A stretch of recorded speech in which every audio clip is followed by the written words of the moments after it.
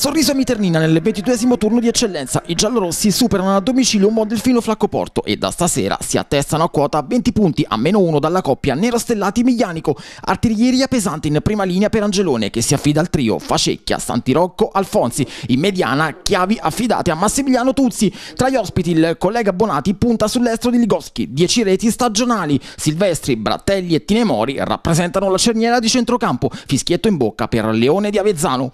Minuto 14. 11. La prima minaccia del Delfino va a segno. Ligoschi dal limite, modalità download e palla all'incrocio 0 a 1.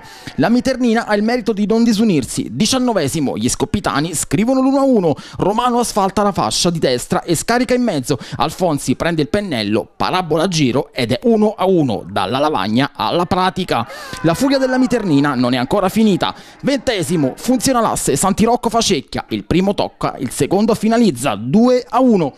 Nella ripresa è subito squillo delfino, ci prova Saltarin, fuori. I pescaresi prendono in mano il comando del gioco. Diciottesimo, Ligoschi su punizione, rammendo Rossetti. Trentesimo, si rinnova il duello. Rossetti però scende con i tempi giusti e depotenzia il pericolo. Nel momento migliore del Delfino, la Miternina cala il tris. Su punizione di Tuzzi, Di Michele va a scucire il parziale rattoppo di falso. È la rete che spacca in due la gara.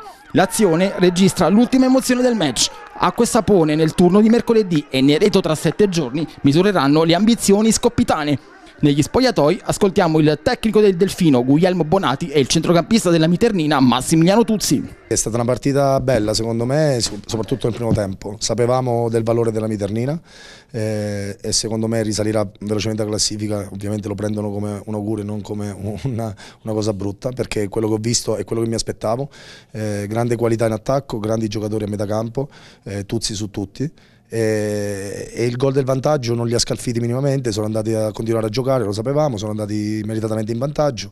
Poi noi abbiamo fatto bene, nel senso che li abbiamo costretti sulla fase difensiva, eh, qualche mischia la potremmo sfruttare meglio, il portiere loro ha fatto dei bei interventi sulle punizioni di Likowski, poi su una ripartenza, una punizione al limite, il gol del 3-1 ci può stare, dopo tante buone partite, dopo tanti buoni risultati. Sicuramente i nuovi arrivi ci hanno dato una grande mano, e penso che stiamo raccogliendo anche qualcosa che meritavamo i mesi addietro.